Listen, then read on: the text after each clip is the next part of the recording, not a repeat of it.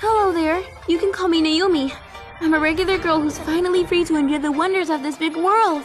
There's so much to learn and see that I can't even choose where to start. Go on. Fly out. Out of here. Lenu Bat. Well, while I explore this magnificent nature, I also have this opportunity as a Glitter Force warrior, Glitter Grace. And Hoppy.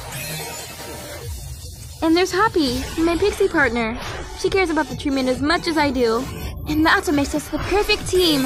I can't let this happen. I just can't stay and watch the Earth die. I sure am. But I can't let that thing destroy the things I love so much. Ah, you're so beautiful! And these are my classmates, Dahlia and Hazel. And they're Glitter Force warriors as well.